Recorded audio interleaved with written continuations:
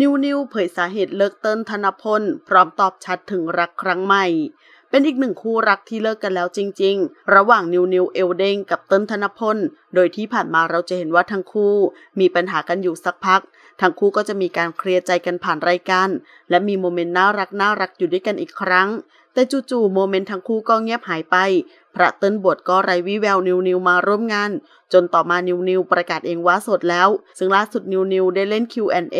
เปิดโอกาสให้แฟนคลับได้ถามคำถาม ก็มีคำถามเรื่องราวการเลิกกันดังนี้ พี่นิวจะทิ้งพี่เติ้ลแล้วเหรอคะ นิวนิวตอบว่าทำไมคิดว่านิวนิวทิ้งล่ะคะ สาเหตุเพราะอะไรคะที่ทำให้เลิกกัน นิวนิวตอบว่าเราแยกย้ายกันไปทำหน้าที่ของตัวเองค่ะ พี่เขาบวชเราทำงาน ไม่ได้ทะเลาะอะไรกันค่ะ ยังรักและหวังดีกับเขาเสมอ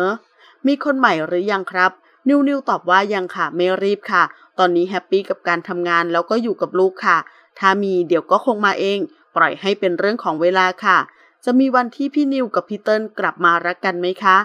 นิวนิวตอบว่าพี่ไม่รู้ว่าอนาคตจะเป็นยังไงเลยณนะตอนนี้ยังตอบอะไรไม่ได้ค่ะ ขอขอบคุณข้อมูลจากทีนี้ .com ขอบคุณค่ะ